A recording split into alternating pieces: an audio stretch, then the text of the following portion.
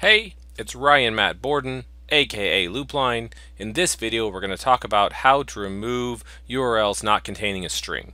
In Scrapebox, we call that remove URLs not containing or containing, so you can remove URLs containing, not containing, and that's a single entry, and then remove URLs containing entries from, and remove URLs not containing entries from. This would be a text file with a list of strings that you would like to remove.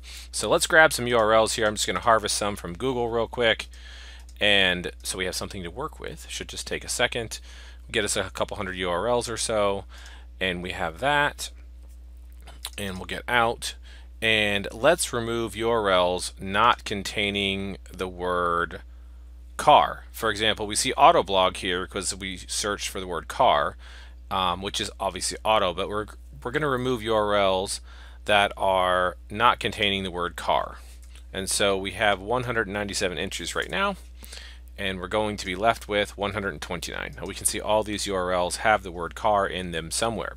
Now this could be um, obviously other things. For example, we could re remove URLs not containing .com. So let's say we want to go not containing .com. So that will leave us only with .coms and that took us down to 121 from 129 so that got rid of .nets and .orgs and that sort of thing.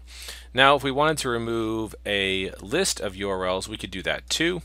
Let us grab just a few more entries here and I will pause the video while I harvest here in just a moment. And so actually so we got our stuff here we actually took 56 seconds to grab up uh, 7400 URLs there from Google and Bing. So now we're going to remove URLs containing entries from. So a list of strings that contains entries in a text file, one per line, and I'll show you what that looks like. So I've got a text file here, and we can just edit it so we can see this literally just has the word car. So I'm going to go ahead and remove those, and that'll take us down from our 7400-ish down to 6200. Now we're left with everything that had the word car in it is gone. Now we're going to remove URLs which do not contain truck or boat. That was a couple of our keywords. So anything that doesn't have the word truck or boat in it, you can see. Now this could have been boat dot boat. We could also put in dot com here. Um, we could put in we could put in just any like a slash. Um, we could put in contact us. Remove anything here. Just let's let's just save that. So everything that doesn't have one of these entries in it. So if it doesn't have one of these things in the URL, then it's going to remove it.